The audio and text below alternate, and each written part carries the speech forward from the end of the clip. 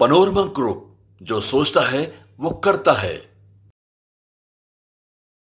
नमस्कार आप सभी दर्शकों का बहुत बहुत स्वागत है भारत लाइव पे। बिहार में 2024 लोकसभा चुनाव शुरू हो चुके हैं।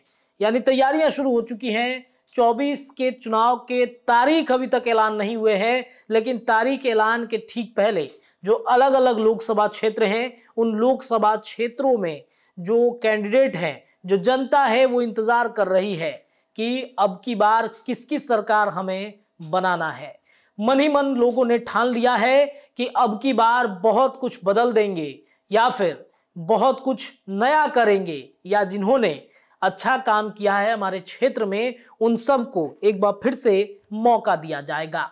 अलग अलग टीवी चैनलों में बड़े बड़े सर्वे हो रहे हैं। आज तक इंडिया टीवी एनडी टीवी इन तमाम जो टीवी चैनल्स के सर्वे हैं, इन सर्वों में भारत लाइव का भी एक नाम है, क्योंकि भारत लाइव लगातार सर्वे कर रहा है। और अभी से नहीं, पिछले कई महीनों से भारत लाइव की टीम अलग अलग क्षेत्रों में जा रही है, घूम रही है और वहाँ की जनता का मिजाज भापा जा रहा है। सुपौल, सीतामढ़ी, कटिहार और पूर्णिया, सीमांचल, मिथिलांचल के कई इलाकों में हमारी जो चुनावी यात्रा थी वो संपन्न हो चुकी है। कई जगहों पर अभी चुनावी यात्रा जारी रहेगी। सबसे पहले, जो इंडिया टीवी के कल सर्वे आए थे, उस सर्वे में जो बदलाव और जो सर्वे में जो आंकड़े खुलासे हुए हैं, उस पर आज विशेष रूप से चर्चा करने के लिए हम मौजूद हैं। महाभारत 2024 भी होगा, उसमें हम बाबा के साथ बैठेंगे और उस पर भी मंथन होगा। देखिए, आज 12 लोकसभा क्षेत्र, उत्तर बिहार के लोकसभा क्षेत्र की चर्चा हम करने बैठे हैं। इन 12 सीटों पर कौन जीत सकता है? 40 लोकसभा सीटों में कितने सीटों पर एनडीए गठबंधन की जीत हो रही है और क्या इंडिया गठबंधन का खाता इस बार खुलेगा कि नहीं खुलेगा? इस पर चर्चा करेंगे। एक एक करके सबसे पहले 12 जो सीट है उत्तर बिहार के, इन 12 सीटों में अगर बातचीत की जाए तो वाल्मीकि नगर, पश्चिम चंपारण, पूर्वी चंपारण, शिवहर, सीतामढ़ी, मुजफ्फरपुर, वैशाली हाजीपुर, सारण, सिवान, महाराजगंज और गोपालगंज है। सबसे पहले हम चर्चा करने जा रहे हैं वाल्मीकि नगर की। जी हाँ वाल्मीकि नगर की हम चर्चा करेंगे। वाल्मीकि नगर में आप सबको पता है कि क्या परिस्थितियाँ हैं। वाल्मीकि नगर में कौन जीतने को ले, कौन जो है वो दावेदारी पेश कर रहा है, किसका सीट है ये? वाल्मीकि नगर, एनडीए गठबंधन ने पिछली बार 2019 की अगर बातचीत की जाए तो 2019 लोकसभा चुनाव के दरमियान वाल्मीकि नगर ने, वाल्मीकि नगर में बीजेपी ने बैद्यनाथ प्रसाद महतो को जो है, वो दिया था टिकट और वहाँ से वो जीत के आए थे। जनता दल यूनाइटेड से हैं और इन्होंने लगभग छः लाख के करीब में वोट इनको मिला है और छः लाख से ये जीते हैं और शाश्वत केदार निकटतम प्रतिद्वंद्वी इनके रहे थे कांग्रेस के और इनको भी वोट दो लाख के करीब मिला था। हार का अंतर तीन लाख के करीब था। बासठ फ़ीसदी वोट इनको मिले थे। अगर इस जगह पर बातचीत की जाए तो पुरुष मतदाता लगभग आठ लाख के करीब हैं। महिला मतदाता सात लाख के करीब हैं। और कुल मतदाताओं की अगर बातचीत की जाए तो लगभग सोलह लाख पैंसठ हज़ार पाँच सौ दो हैं। यानी कि इस बार भी जो सर्वे आया है, इस सर्वे में भारतीय जनता पार्टी को ये सीट मिलती हुई दिख रही है। जी हाँ ये भारतीय जनता पार्टी की सीट जो है वो मिलेगा। अब इसमें सबसे बड़ी बात ये है कि क्या जो पिछले बार रिपीट हुए थे, वह इस बार रिपीट होंगे या फिर किसी, किन्हीं नए को मौका मिलेगा? क्योंकि पिछली बार तो जदयू की सीट जो है इनको मिली थी और इस बार क्या जदयू फिर से ये सीट भारतीय जनता पार्टी से मांगती हुई दिखेगी। चलिए दूसरे नंबर पर अगर बातचीत करें पश्चिम चंपारण की तो पश्चिम चंपारण का डाटा पहले जान लेते हैं। 2019 के चुनाव में संजय जायसवाल, जो भारतीय जनता पार्टी के पूर्व में प्रदेश अध्यक्ष भी रह चुके हैं, और वर्तमान में पश्चिम चंपारण से ये सांसद हैं, इनको वोट छः लाख मिले थे और इनके जो निकटतम प्रतिद्वंदी थे, ब्रजेश कुमार कुशवाहा राष्ट्रीय लोक समता पार्टी यानी आरएलएसपी से थे। और इस बार तो उपेंद्र कुशवाहा जो है, वो इनके ही पार्टी में, इनके ही गठबंधन में है। इस बार उपेंद्र कुशवाहा भी ये सीट मांगने के लिए परेशान है कि पश्चिम चंपारण की सीट जो है हमें दे दी जाए। अगर वोट बातचीत की जाए, वोटों का अंतर बातचीत की जाए तो दो लाख के अंतर से जो ब्रजेश कुमार कुशवाहा थे, उनकी हार हुई थी। तीन लाख के करीब जो इनको वोट था ब्रजेश कुमार कुशवाहा को, वो मिला था। इस सीट पर भी उपेंद्र कुशवाहा की दावेदारी है। उपेंद्र कुशवाहा चाहते हैं कि ये सीट हमें मिले। हालाँकि एनडीए गठबंधन में क्या कुछ फैसला हुआ है, इस पर अभी चर्चा होना बाकी है। तो क्या उपेंद्र कुशवाहा को ये सीट मिलेगा, या फिर ये सीट जो है, वो बचता हुआ दिख रहा है भारतीय जनता पार्टी के लिए? लेकिन जो सर्वे आया है इसमें बीजेपी की बड़ी जीत होती हुई दिख रही है। यानी कि इन सीटों में वाल्मीकि नगर, पश्चिम चंपारण में बड़ी जीत भारतीय जनता पार्टी की होती हुई दिख रही है। अब बात करते हैं पूर्वी चंपारण की। तो पूर्वी चंपारण में राधा मोहन सिंह, ये स्पष्ट रूप से दिख रहा है कि बीजेपी का ये सीट रहा है बीजेपी एक बार फिर से आएगी। सर्वे रिपोर्ट भी यही कह रहा है कि भारतीय जनता पार्टी को एक बड़ी जीत मिलेगी। राधा मोहन सिंह पिछली बार भारतीय जनता पार्टी से जीत के आए थे। पाँच लाख इनको वोट मिले थे और यहाँ पर भी आरएलएसपी के इनके प्रतिद्वंदी थे, जिनका नाम था आकाश कुमार सिंह। और आकाश कुमार को जो वोट मिले थे, वो दो लाख के करीब मिला था। हार का अंतर भी लगभग इतना ही था। दो लाख तिरानवे हज़ार छः सौ अड़तालीस था। वोट सात प्रतिशत इनको मिले थे। साठ प्रतिशत सात मत समझ लीजिएगा। साठ प्रतिशत वोट इनको मिले थे। तो ये भी स्पष्ट रूप से दिख रहा है कि इस बार भी कहीं ना कहीं ये सीट जो है, वो भारतीय जनता पार्टी को मिलता हुआ दिख रहा है। अब बात करते हैं शिवहर की। जी हाँ शिवहर भी काफ़ी चर्चा का विषय है और शिवहर में भी काफ़ी ज़्यादा चर्चाएँ हो रही हैं कि शिवहर से कौन जीत रहा है। तो शिवहर में एक बार फिर से बातचीत करें रमा देवी की। तो रमा देवी पिछली बार जो है, वो जीत के आई थी, लेकिन शिवहर में इस बार जनता दल यूनाइटेड की चर्चा चल रही है। आप सबको पता है कि शिवहर लोकसभा क्षेत्र में जो आनंद मोहन है, उनको जदयू के तरफ़ से टिकट दिया जा सकता है और इसलिए क्योंकि नीतीश कुमार ने जो जेन मैनुअल का नियम था, उसमें बदलाव करके आनंद मोहन को जेल से निकलवाया था, जिस वजह से ये चर्चाएँ चल रही हैं कि आनंद मोहन एक बार फिर से आ सकते हैं। अब आनंद मोहन होंगे कि उनकी पत्नी होगी लवली आनंद, या फिर उनके बेटे चेतन आनंद, जो पाला उन्होंने फ्लोर टेस्ट के दिन बदल लिया था, इस पर भी चर्चाएँ चल रही हैं। हालाँकि सर्वे में आया है कि ये भी जो है वो एनडीए गठबंधन में जाएगा। जदयू को ये सीट जाता है या फिर भारतीय जनता पार्टी ये सीट जो है वो बचा के रखती है, इस पर काफ़ी ज़्यादा चर्चा का भी विषय बना हुआ है। अब आगे बढ़ते हैं। सीतामढ़ी की सीट जो सबसे हॉट सीट बिहार में बनी हुई थी, दिल्ली में भी सीतामढ़ी सीट को लेकर काफ़ी ज़्यादा चर्चाएँ थी। सुनील कुमार पिंटू, जनता दल यूनाइटेड से पिछली बार काफ़ी दोहापाती मची थी सीट को लेकर।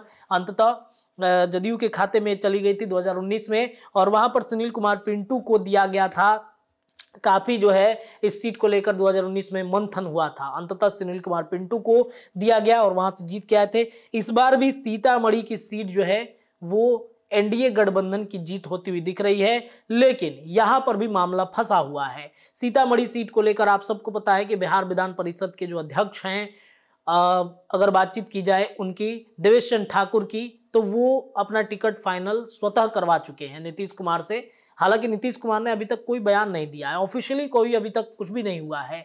सीतामढ़ी सीट पर एक और दिलचस्प बात यह है कि माधव आनंद, यानी उपेंद्र कुशवाहा की जो आरएलएम पार्टी है, वो भी दावेदारी कर रहे हैं। हमारे संपादक भी आपको बता रहे हैं कि सीतामढ़ी सीट पर कितनी ज़्यादा चर्चाएँ चल रही है, कितना मंथन हो रहा है। हालाँकि ये भी चर्चा है, कल ही राजनाथ सिंह पहुँचे थे सीतामढ़ी और उन्होंने बड़ा इशारा कर दिया। ये भी चर्चा है कि राजनाथ सिंह चाहते हैं कि सीतामढ़ी का सीट भारतीय जनता पार्टी के खाते में चला जाए। कई भारतीय जनता पार्टी के वहाँ पर नेता हैं, जिलाध्यक्ष हैं, वो इस टिकट की रेस में हैं। लेकिन सर्वे में ये आ रहा है कि सीतामढ़ी की सीट भी इस बार एनडीए गठबंधन में ही जाएगा। सीतामढ़ी सीट को लेकर काफ़ी चर्चाएँ चल रही थी कि सीतामढ़ी सीट पर काफ़ी मंथन भी हुआ था। कौन जीतेगा? किसको लेकर चर्चा चल रही है, ये भी कहीं ना कहीं चर्चा का विषय है, बहस का विषय है। अब बात करते हैं मुजफ्फरपुर सीट की। तो मुजफ्फरपुर सीट आप सबको पता है कि भारतीय जनता पार्टी किसी भी कीमत पर छोड़ेगी नहीं। भारतीय जनता पार्टी से एक बार फिर से ये जीत होता हुआ दिख रहा है। अजय निषाद जो है, वहाँ से जीते हैं भारतीय जनता पार्टी के 2019 में। इनके निकटतम प्रतिद्वंदी थे राजभूषण चौधरी विकासशील इंसान पार्टी के, और इनको लगभग वोट मिला था दो लाख छप्पन हज़ार और जो अजय निषाद थे, इनको वोट मिला था छः लाख छाछठ हज़ार। यानी कि इस बार अगर मुकेश सहनी आते हैं तो शायद ये सीट उनको मिलेगी। हालाँकि भारतीय जनता पार्टी इतना बड़ा रिस्क लेना नहीं चाहेगी। देखते हैं, अभी आने वाले वक्त में टिकट का जो बंटवारा होगा तो उस पर मंथन होगा। अगर विकासशील इंसान पार्टी एक बार फिर से एनडीए गठबंधन के साथ आएगी, जो कि अभी तक कोई चर्चा नहीं चल रहा है, लगातार मुकेश सहनी बयान दे रहे हैं, उलट। यानी एनडीए गठबंधन से उलट बयानबाजी उनकी चल रही है।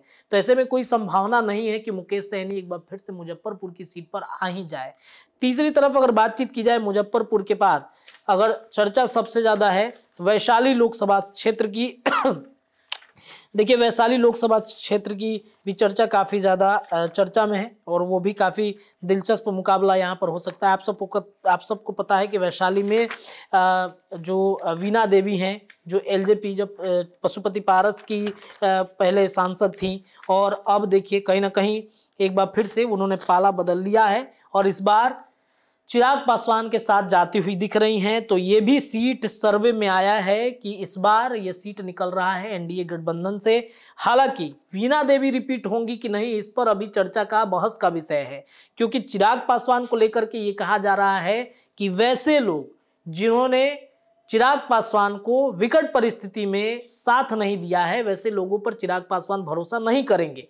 वीणा देवी को लेकर काफ़ी ज़्यादा चर्चा है। वीणा देवी के बेटे या फिर उनके किसी करीबी को ये टिकट जा सकता है। हालाँकि चिराग पासवान को निर्धारित करना है, अगर उनकी पार्टी को ये टिकट जाएगा तो शायद वीना देवी रिपीट नहीं होंगी। उनके जगह पे कोई और रिपीट हो सकता है। रघुवंश प्रसाद सिंह, ये आरजेडी से हैं, इनके प्रतिद्वंदी थे पिछली बार। तो कहीं ना कहीं वीणा देवी को लेकर के भी चर्चा है, लेकिन ये भी जो सीट है, वो सर्वे रिपोर्ट में आ रहा है कि एनडीए गठबंधन के तरफ़ ही जा रहा है। अब बात करते हैं हम वैशाली के बाद हाजीपुर की। जी हाँ हाजीपुर की सीट जो काफ़ी चर्चित सीट है और काफ़ी विवाद जो है, वो हाजीपुर सीट को लेकर के हो रहा है कि हाजीपुर सीट पर चाचा पशुपति पारस क्या करेंगे? ये सीट छोड़ेंगे कि नहीं छोड़ेंगे? हालाँकि चिराग पासवान तो ये कहते हैं कि सीट हमारा फाइनल हो चुका है। हालाँकि चिराग पासवान की तरफ़ से अभी तक मतलब ऑफिशियली कोई नहीं आया है। उनके लोग कहते हैं कि चिराग तो चालीसों लोकसभा सीट पर तैयारी कर रहे हैं। पशुपति पारस, इस बार हालाँकि सर्वे में आ रहा है कि एनडीए गठबंधन ही ये जीतेगा, लेकिन चिराग पासवान की पार्टी को जाता है या फिर पशुपति पारस रिपीट होंगे। इस पर काफ़ी ज़्यादा चर्चा का विषय है। इनके प्रतिद्वंदी शिवचंद्र राम थे, राष्ट्रीय जनता दल से। हालाँकि ये भी सर्वे किया जा रहा है, अगर भारत लाइव के अगर सर्वे आप देखेंगे ओपिनियन पोल पर जाकर के आप भी अपनी राय दे सकते हैं। ओपिनियन पोल में देखेंगे तो चिराग पासवान के नाम पर लोग सबसे ज़्यादा मुहर लगा रहे हैं। चिराग पासवान पर जो है वो काफ़ी भरोसा हाजीपुर की जनता जता रही है। हालाँकि ये एनडीए गठबंधन में भारतीय जनता पार्टी को निर्धारित करना है कि किसे हम सीट देंगे।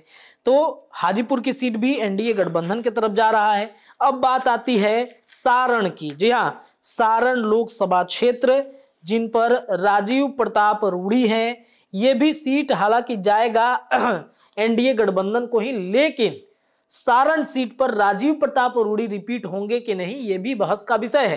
क्योंकि राजीव प्रताप रूढ़ी से नरेंद्र मोदी काफ़ी नाराज़ चल रहे हैं। पार्टी की गतिविधियों में राजीव प्रताप रूढ़ी शामिल नहीं होते हैं। उनको एक बहुत बड़ा योजना दिया गया था। बहुत बड़ी ज़िम्मेदारी दी गई थी। जो प्रधानमंत्री कौशल विकास योजना है, उसके इनको मंत्री बनाए गए थे, लेकिन उसमें राजीव प्रताप रूढ़ी फेल हो गए। उन्होंने काम कुछ नहीं किया, जिस वजह से नरेंद्र मोदी की नाराज़गी सबसे ज़्यादा। अगर पार्टी में किसी सांसद पर है तो वो है राजीव प्रताप रूढ़ी हालाँकि ये टिकट बीजेपी को ही जाएगा, लेकिन यहाँ पर कोई चौंकाने वाला नाम हो सकता है। कई लोग इस सारण लोकसभा क्षेत्र पर अपनी दावेदारी पेश कर रहे हैं। इसमें बहुतों के नाम आ रहे हैं। कौन होगा, कहा तो ये जा रहा है, कोई बहुत बड़ा उद्योग जो उद्योग से जुड़ा हुआ व्यक्ति है, उसको दिया जाएगा। अगर आप सारण लोकसभा क्षेत्र से ये वीडियो देख रहे हैं तो अपनी राय रखिए और बताइए कि आपके नज़र में कौन हो सकता है। उनके पास हम जुड़ेंगे, बातचीत करेंगे। तो ये भी बीजेपी के पास जाता हुआ दिख रहा है। अब बात करते हैं सिवान लोकसभा क्षेत्र की। जी हाँ सिवान में थोड़ा सा लोगों को डर लग रहा है कि सिवान में क्या होगा। कविता सिंह, जनता दल यूनाइटेड की ये सांसद है, लेकिन जनता दल यूनाइटेड को यह सीट इस बार नहीं जाएगा, इतना आप तय मानिए। क्योंकि कविता सिंह पर खुद नीतीश कुमार को भरोसा नहीं रहा है। कविता सिंह को लेकर के सिवान की जनता में सबसे ज़्यादा नाराज़गी भी है। कई जगहों पर वो बुलाने पर भी नहीं जाती हैं। सिवान में जो की त्यों स्थितियाँ बनी रहती हैं। शहर में वैसे ही जाम रहता है, नाले पे वैसे ही गंदगी रहती है। इतना ही नहीं, आपको ये भी बता दें कि कई जगहों पर पुल, पुलिया को लेकर के भी समस्याएँ रहती हैं सिवान लोकसभा क्षेत्र में। यानी कि सिवान में ये एक्टिव नहीं है कविता सिंह। हालाँकि सांसद तो कविता सिंह है, लेकिन सारा इनका कार्यभार जो है उनके पति अजय सिंह देख, देखते हैं। और अजय सिंह की छवि क्या है? यह सिवान की जनता को अच्छे से पता है। हालाँकि यहाँ पर भी दो तीन कैंडिडेट हैं भारतीय जनता पार्टी की रेस में। बात करें अगर ओम प्रकाश यादव की, पूर्व में वो सांसद रहे हैं। निर्दलीय चुनाव लड़ने की इस बार फिर से घोषणा कर रहे हैं कि निर्दलीय हम चुनाव लड़ेंगे। हालाँकि निर्दलीय लड़ते हैं या फिर भारतीय जनता पार्टी फिर से भरोसा जताएगी, क्योंकि वहाँ पर एम समीकरण का सबसे ज़्यादा चर्चा होता है। अगर इस एम समीकरण में वो भेद नहीं पाए तो इतना समझ लीजिए कि ये टिकट जो है, वो कहीं ना कहीं इंडिया गठबंधन, महागठबंधन जीत सकती है। देखिए, कहा यह जा रहा है, इंडिया टीवी के सर्वे में एक बात कही जा रही थी कि हेना साहब जो है, वो यहाँ से आरजेडी की टिकट से जीत पाएँगे। ये असंभव लग रहा है, क्योंकि हेना साहब आरजेडी से अब रिश्ता और नाता जो है अपना तोड़ चुकी हैं। हेना साहब, आरजेडी से अगर टिकट भी मिलता है तो मुझे नहीं लगता है कि वो वहाँ से टिकट ले पाएँगे, क्योंकि यहाँ पे इसलिए ये बात कह रहे हैं कि अवध बिहारी चौधरी जो सिवान सदर से विधायक है, वो भी डिमांड कर रहे हैं कि आरजेडी के टिकट से हमें मिले। यानी हमें मौका मिले, उम्मीदवार भर सकते हैं। तो अवध बिहारी चौधरी को देंगे लालू प्रसाद यादव, जो स्पीकर भी रह चुके हैं पूर्व में, कि हेना साहब को देंगे। देखिए, टिकट का बंटवारा इस बार तेजस्वी यादव करेंगे, क्योंकि जो उनकी जनविश्वास यात्रा निकली हुई है, इस यात्रा से लोगों के मन के बीच एक विश्वास तेजस्वी यादव पर बन रहा है। तो हेना साहब से नाराज़गी तेजस्वी यादव की भी है, और हेना साहब की नाराज़गी तेजस्वी यादव से है। तो ऐसे में यह आरजेडी को टिकट हेना साहब से नहीं मिलेगा, इतना आप तय मानिए। और यहाँ पर अवध बिहारी चौधरी उतर सकते हैं, या फिर हेना साहब को यह चर्चा की जा रही है कि एलजेपीआर यानी चिराग पासवान की पार्टी जो है, उससे टिकट दे करके वो एनडीए गठबंधन से हेना साहब को लड़वाया जाए। इस रेस में बीजेपी के मंगल पांडे भी हैं, जो एमएलसी हैं, वो स्वास्थ्य मंत्री पूर्व में रह चुके हैं, इनकी भी चर्चा चल रही है। हालाँकि क्या कुछ होता है, मंगल पांडे अगर क्या वाकई में एमवाई समीकरण में भेद कर पाएँगे, क्या भारतीय जनता पार्टी रिस्क लेना चाहेगी, ये भी एक बड़ा प्रश्न है। हालाँकि ये भी सिवान सिवान का जो सीट है, वो टिकट पर डिपेंड करता है कि किसे टिकट दिया जा रहा है एनडीए गठबंधन से। अगर कविता सिंह को दिया जाएगा तो तय मानिए कि वापस से कविता सिंह रिपीट नहीं होंगी एनडीए गठबंधन की तरफ़ से, यहाँ पर एनडीए गठबंधन को करारी हार मिल सकती है। अगर टिकट किसी अच्छे व्यक्ति को या फिर किसी ऐसे व्यक्ति को दिया जा सकता है जो वहाँ का समीकरण है, उस समीकरण में राजद के समीकरण को भेद पाए तो शायद ये टिकट बीजेपी के पास आ सकती है। हालाँकि सर्वे में तो ये सिवान लोकसभा क्षेत्र जो है, इंडिया गठबंधन के पास जा रहा था, लेकिन हमारा ये मानना है कि यहाँ पर सब कुछ डिपेंड करेगा, टिकट किसे मिल रहा है। टिकट मिलेगा तो शायद एनडीए गठबंधन के पाले में ये आ सकता है। अब बात करते हैं महाराजगंज लोकसभा क्षेत्र की। महाराजगंज लोकसभा क्षेत्र में जनार्दन सिंह सिग्रीवाल है। जनार्दन सिंह सिग्रीवाल को आप सबको पता होगा कैसे उनको पुलिसिया डंडा का सामना करना पड़ा था। सर फट गया था उनका। उस सर फटे जो सर जिस तरीके से फटा था उसका वीडियो जो है वो सोशल मीडिया पर वायरल हुआ था। जिस तरीके से तेजस्वी यादव की नीतियों का विरोध भारतीय जनता पार्टी की तरफ़ से किया जा रहा था। पटना के डाक बंगला चौराहे पर मेरी आँखों देखी ये घटना है। मैं भी वहाँ पर मौजूद था और मेरे मोबाइल के कैमरे से ही वो सारे वीडियोस रिकॉर्ड किए गए थे। जब जनार्दन सिंह सिग्रीवाल पर अंधाधुन जो नीतीश कुमार की पुलिस थी, वो तबड़तोड़ उन पर लाठियाँ बरसा रही थी। चर्चा तो ये था कि महाराजगंज लोकसभा क्षेत्र से शायद जनार्दन सिंह सिग्रीवाल का टिकट कट जाएगा। लेकिन ऐसा लग रहा है कि टिकट उनका बच जाएगा, लेकिन संभावनाएँ अभी कुछ भी कही नहीं जा सकती है। कई लोग इस टिकट के रेस में हैं। इस बार भी महाराजगंज लोकसभा क्षेत्र में भी 2024 में एनडीए गठबंधन में ही आएगा टिकट, लेकिन कौन वहाँ पर खड़ा होगा, इसकी भी चर्चा काफ़ी तेज है। कई लोग रेस में हैं, कई लोगों के नाम की चर्चाएँ हो रही हैं, कई डॉक्टर के नाम की भी चर्चा हो रही है। कई डॉक्टर भी आ सकते हैं। हालाँकि देखते हैं क्या कुछ होता है इस पर हमारी निगाहें रहेंगी लेकिन ये भी एनडीए गठबंधन के पाले में ही महाराजगंज का सीट आ रहा है। अब देखिए अब बात आ, बात आता है गोपालगंज का। तो गोपालगंज की सीट रिज़र्व सीट है और यहाँ पर जदयू के जो हैं वो सांसद यहाँ पर अभी फ़िलहाल हैं गोपालगंज में आलोक कुमार सुमन। और ये रिज़र्व सीट है तो इस वजह से कहीं ना कहीं मुझे लगता है कि ये भी इस बार भी उनको मिलेगा। और वहाँ से वो जीतेंगे। इस बार एनडीए गठबंधन के पाले में ये सीट जो है वो आती हुई दिख रही है। इनके प्रतिद्वंदी सुरेंद्र राम है, राष्ट्रीय जनता दल से। हालाँकि यहाँ पर आरजेडी की तरफ़ से भी बड़े प्रतिद्वंदी को खड़ा करने की चर्चा इस बार चल रही है। तो ये बारह लोकसभा सीट है उत्तर बिहार के, जिस पर हमने आपको सर्वे करके बताया कि क्या कुछ संभावनाएँ बन सकती हैं, कौन जीत सकता है, कौन हार सकता है। लेकिन ये चर्चा अभी यहीं समाप्त नहीं हो रही है दर्शकों, और भी चर्चाएँ जारी रहेंगी। अगर देखिए, कुछ नामों को लेकर के अगर आपके मन में भी हो, या फिर उस लोकसभा क्षेत्र में ऐसा लग रहा है कि वो कैंडिडेट खड़ा हो सकते हैं चुनाव की रेस में तो वो कमेंट करके हमें ज़रूर बताइएगा। उस खबर पर विश्लेषण हम अपने संपादक नमन मिश्रा सर या फिर विजय मिश्रा बाबा के साथ करवाएँगे और फिर वहाँ से शुरू हो जाएगा मंथन। बारह लोकसभा सीटों पर उत्तर बिहार के हमने सर्वे करके बताया, इंडिया टीवी के सर्वे से जोड़ते हुए। फ़िलहाल इस खबर में इतना ही, लेकिन ऐसे ही सर्वे अभी जारी रहेंगे सीमांचल के, मिथिलांचल के और जो मगध का क्षेत्र है, वहाँ के भी तमाम सीटों पर विश्लेषण हम करते रहेंगे। फ़िलहाल अभी के लिए इतना ही। देखते रहिए भारत लाइव। धन्यवाद। पनोरमा ग्रुप जो सोचता है वो करता है। अगर ये वीडियो पसंद आई और वह बिहार के राजनीति और बिहारियत से सरोकार रखेनी तो सब्सक्राइब बटन दबा के चैनल के सब्सक्राइब कर ली। ओजे एगो घंटी बा। ओकरा बटन दबा देला से कुल सटीक और मारक खबर रुआ मुफ़्त में मिल जाई। अगर रुआ पत्रकारिता के हमनी के नया प्रयोग में सहयोग कर चाहतानी तो ज्वाइन बटन दबा दी। पेटीएम नंबर नोट कर ली nine three eight six eight one six seven double zero. धन्यवाद।